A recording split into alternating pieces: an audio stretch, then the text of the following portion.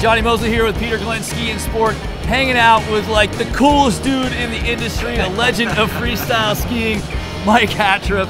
Um, Mike, I don't even know where to begin. I mean, we, we go way back to when I was a little Grom and you were at Yeah. the top of the game in uh, in in freestyle skiing back in Squaw.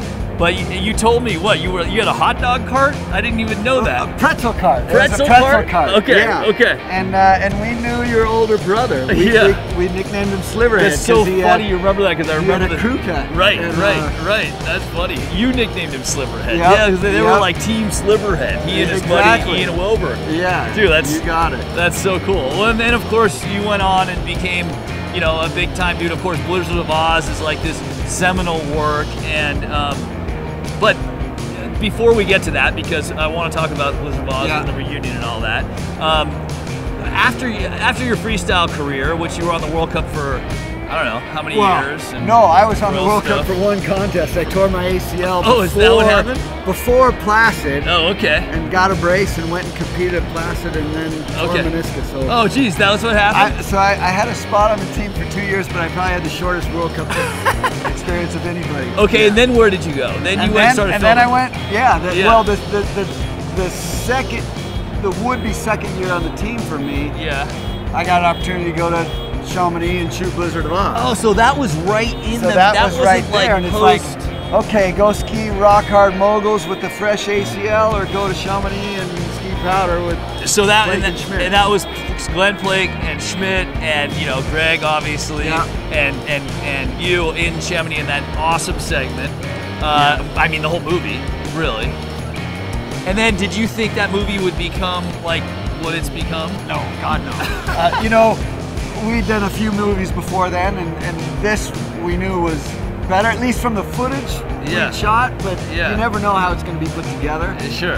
And uh, and I certainly didn't think we'd be talking about it 30 years later. Right, right. That's for sure. Right, exactly. And, we'll- and we'll get to that. But the one thing I wanted to uh, just touch on real briefly is that then you became like the lead designer at K2, or how did you end up working in the Yeah, industry? so I went straight from Blizzard of Oz to, to working at K2. And Oh, I, I-? I, wasn't a designer, I'm not an engineer, but I worked Yeah. with the design team and, Okay. and have, you know, until until I came here to Fischer. Okay, cool. So then you transitioned in, into Fischer, and, and I know you do a lot of backcountry stuff. Was that something you were always passionate about, or? No, Blizzard of Oz really opened my eyes to that Oh, because before Chamonix, I was a mogul skier, Yeah. a ski resort mogul skier. I'd never had a beacon on, I'd never gone out of bounds.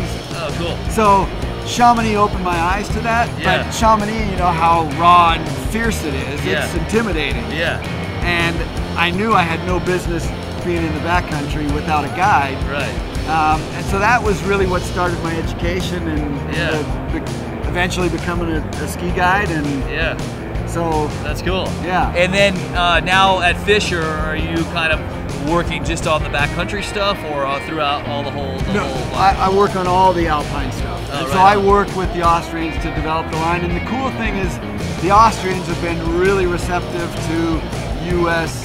feedback. Yeah. You know, they're not asking for us for for help on designing the race skis. I got enough World Cup, the next Sure. World Cup guys over there. But Yeah. for the stuff that matters to our market, the all mountain skis, the free ride skis, Yeah. they're saying, what do you want to do with it? So we we revamped the whole collection Oh, cool. uh, to, to really North American standards. So All right. it's Yeah. been cool. Yeah, I mean, I've, I've been a big fan of the Fischer vacuum boot. Uh, I've skied the Curv, which I love, Yeah. and I, I see now you actually have a mogul ski, which Yes. is cool. The gun Yes, barrel. Which which killed Blake. so because Blake loves gun barrel, right? Yeah. That's the best mogul run Oh, in the world you guys snaked the name. And we were sitting here last year Yeah. and we were talking Berkowitz Eye and Yeah, Blake, yeah. and the gun barrel's behind it, and Blake's like, "Wait, is that a mogul ski?" and so he was both really stoked that somebody used the name gun barrel, Yeah. and really pissed because it wasn't him. Right, that's So- funny. And for, for everyone at home uh, that doesn't know, Gun Barrel is one of the most famous mogul runs in the world. It's the main run under the tram at Heavenly in South Lake Tahoe in California. And if you can make it from the top to the bottom, you're a man. I mean, it's it's And a it's- lot of moguls. And it's steep. it's moguls from the top. I mean, you get off the chair and you Yeah. start skiing moguls. There's no flat place to warm. It's boom, Oh, boom, yeah. right from the start. It's it's classic. all the way to the bottom. All right, speaking of Blake, speaking of moguls, uh, speaking of Blizzard of Oz, the 30th anniversary of Blizzard of Oz is coming up, and Yeah. uh, yeah, that also is during the Peter Glenn demo trip in Squaw Valley, April 10th of this year. We're gonna do a special showing of the 30th anniversary edition of Blizzard of Oz. Of course, Greg Stump's like, you know, seminal work starring Mike Hattrup, Scott Schmidt, and Glenn Blake. Glenn Blake and Scott Schmidt are coming. Hattrup, we're trying to get to come.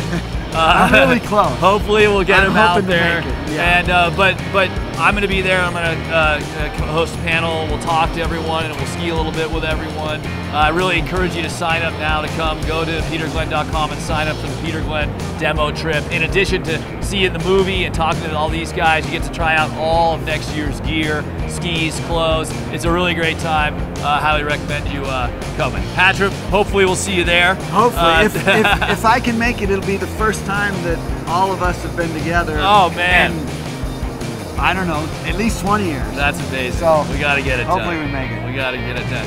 All right. Hey, thanks for listening. Jonny Moseley for Peter Glenn Ski and Sport.